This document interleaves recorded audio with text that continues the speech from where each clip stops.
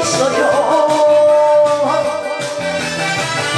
처음 보는 순간부터 내 마음을 뺏겼어요. 내 영혼